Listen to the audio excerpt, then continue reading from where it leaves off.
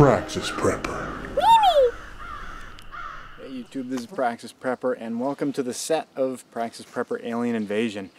Pretty soon in the series, my character and Monica are going to lose our house. Uh, I think it's important to explore some new things. Yeah, we've been in the house for a while. We've talked a lot about what uh, it's like surviving in a homestead. Sure, there's more that you could explore down that road, but we're shaking things up and we get ejected from the house and we're going to have to be out in the wilderness you know, living off of, uh, you know, a very small amount of supplies.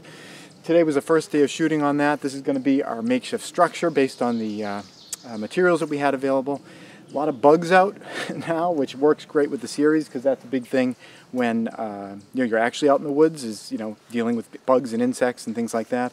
One way that we uh, deal with in the series uh, that issue is having a you know smoking fire because that really cuts down on the bugs. And the reason they're here right now is I just finished shooting, I extinguished the fire, and I dumped a bunch of water on it because it's reasonably dry out. It rained a little bit uh, the other day, and it's going to rain in a few days, but that's plenty of time to start a forest fire. So I really doused the fire spot right here and you know got it completely out, stirred it around until it was just like a sludge and there's nothing even, even sizzling in there anymore.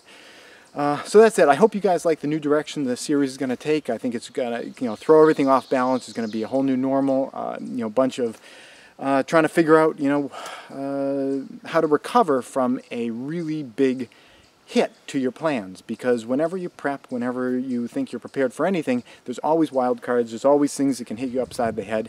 And if you're only comfortable working within your certain set idea of like, this is what it's going to be like for me, you know, when I, uh, you know, when the shit hits a fan, I'm going to do this and I'm going to do that. You know, if you can't roll with punches, then, you know, you're not going to last very long because inevitably there's almost always punches for everybody and people need to be able to adapt to that and, uh, you know, uh, either give up or not give up. And my character, at least at this part of the series, isn't giving up yet, and uh, and they're going to be be here. So that's it. Uh, I want to thank everyone for your continued support of the series. It's the only thing that's keeping it going is the fact that you guys are uh, you know stepping up to the plate and making that happen. Thank you very much, and uh, that's it.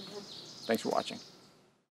Please subscribe and tune in every Friday at 4.30 New York time for a new video. And if you'd like to support this channel, you can do so both through Patreon or PayPal.